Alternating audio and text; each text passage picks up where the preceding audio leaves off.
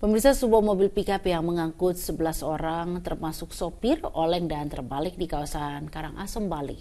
Kendaraan menimpa rombongan siswa SD yang berjalan pulang sekolah pada Senin siang menyebabkan 17 orang luka-luka.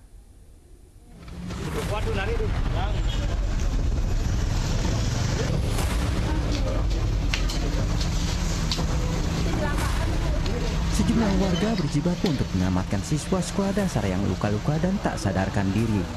Mereka membawa korban ke UGD RSUD Karangasem. Tim medis langsung memberikan pertolongan guna menyelamatkan siswa tersebut.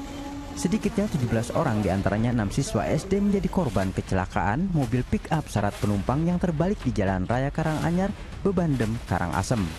Dua pingsan satu.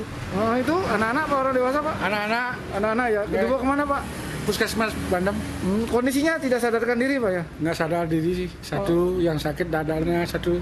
Hmm, kendaraan pick up eh, menghindari yang datang dari arah selat, selat menuju ke Bandem pada saat sampai di, di eh, Banjardinas Karanganyar menghindari murid SD yang eh, sedang pulang dari sekolah lalu oleng lalu terjatuh. Nah, dari kejadian tersebut eh, kurang lebih dari pick up penumpangnya kurang lebih 11 orang dibawa ke tiga eh, rumah sakit Seluruh korban termasuk sopir pick-up tersebut saat ini masih menjalani perawatan di dua rumah sakit dan dua puskesmas.